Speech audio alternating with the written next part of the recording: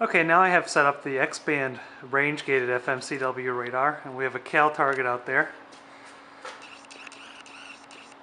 As you can see, the range, the cal target, which is the brightest target, and you can watch as I move it forward, and the cal target drops out, and I move the gate backwards. So we want the uh, cal target to be right there. Actually, let's try a different range gate. Maybe we should do a smaller one. Let's try this one. Okay, we'll use a seven and a half kilohertz range gate. That looks better. I don't see any saturation. So we'll use a seven and a half kilohertz range gate. We centered it, cal target, and uh, I'm going to run a scan of, or rather acquire 1024 of these for calibration purposes. So let's set that up now. Zero, two, four. So I'll record 1024, they'll be averaged, and we'll record um, a background with nothing there. Okay, calibration has been acquired. The next step is the calibration background, uh, which we will start. Over here again, it's going to be 1024 samples. Off it goes. So once this is complete, we'll do a background scan. Okay, jogging the uh, radar back to home. And then we'll do a uh, background scan of just nothing out there. Okay, so we're going to begin our scan here going to be uh, 192 range profiles at a half inch increment, coherently integrating 10 times each. Oops. There we go.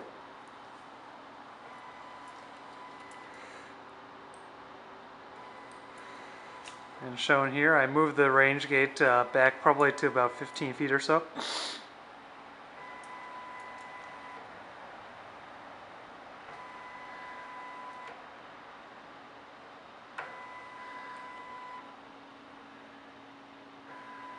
So let this run, should take about 15 minutes. We'll acquire uh, an image of my bike now, letting the radar go back to rest. Here you can see the target.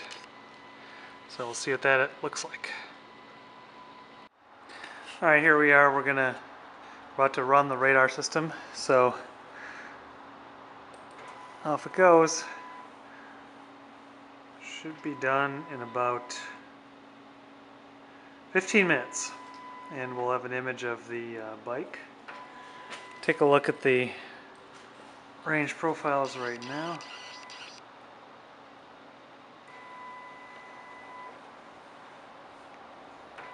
Yeah, some of the features are now beginning to show up. Yep, there's some strong returns. So that's good. Hopefully uh, We'll have a good image here. Okay, now I'm uh, slewing the radar back home. Uh, the image uh, has been acquired, so we'll go and process this. Okay, so I've loaded the um, data onto my computer and we'll run the MATLAB processing script. Take a look and see what we have here.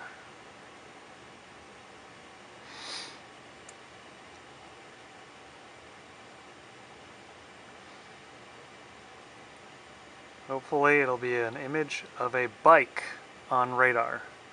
Okay, and that is a very good bike image. So the wheel, front wheel, rear wheel clearly shown, pedal, derailleur, um, chain, top bar, handle, and the saddle. So that is an excellent bike image for a bike sitting on the ground.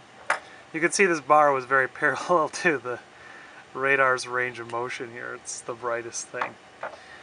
So anyway, there you have it. I'll show uh, more radar imagery as well uh, next.